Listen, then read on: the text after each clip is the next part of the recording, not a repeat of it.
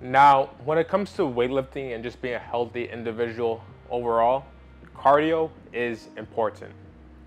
Back in 2022, when I started weightlifting again after having really low point in my life and wanting to turn it around by working out, I almost never did cardio. I didn't do cardio for warm-ups, didn't do it for cool downs. I just thought it was a waste of time. I really wanted to focus on building muscle mass and just overall strength in the gym. And I was able to achieve that, but by not doing cardio, I really lacked in different areas of athleticism that I didn't really think about at the time. For example, let's say I went for a quick little jog around my neighborhood or playing with my friends, I would like run out of breath so damn easily. Like, was I really strong in the gym? Could lift heavy ass weight in bench, squat, deadlift? Fuck yeah. Was it cool? Hell yeah. But in different aspects of fitness, I was just like completely lacking. I just couldn't really keep up with my other peers. Then recently in 2024, I wanted to like change this around. I wanted to become more athletic, you know, not be able to run out of breath each time I go for a uh, run or walk, anything like that.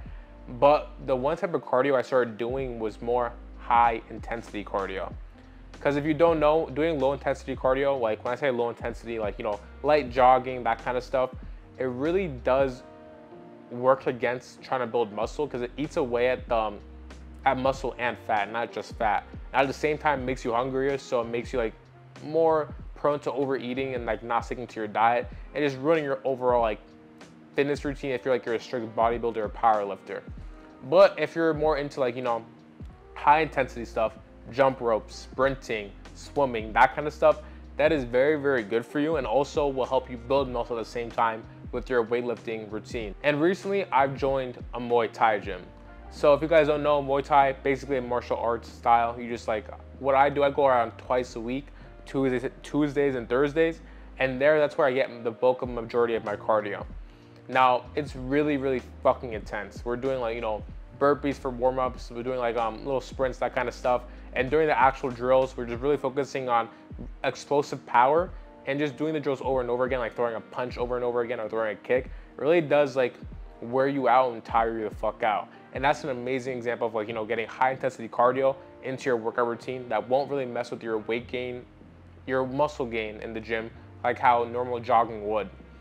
Also, on days where I don't go to Muay Thai, because I only go twice a week, for high intensity cardio, I do jump ropes.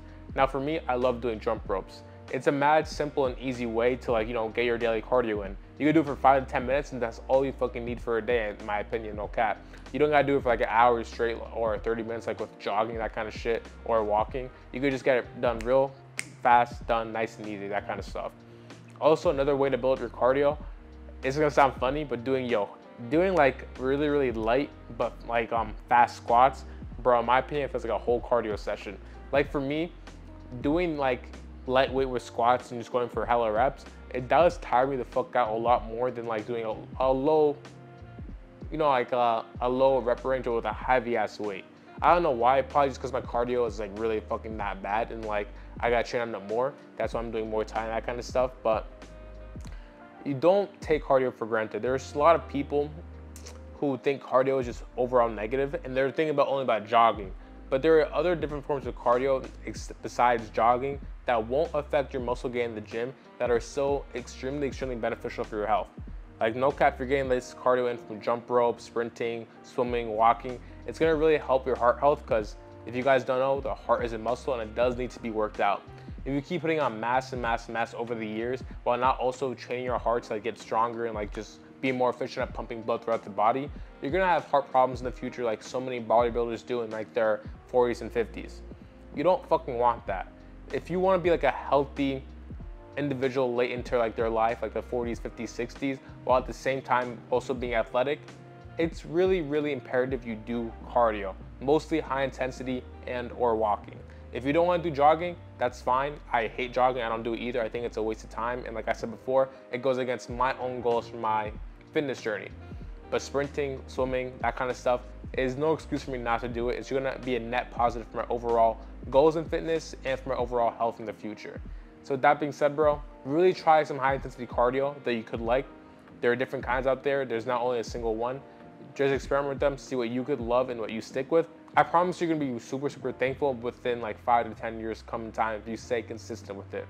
So with that being said, bro, do some fucking cardio and I'll catch you later.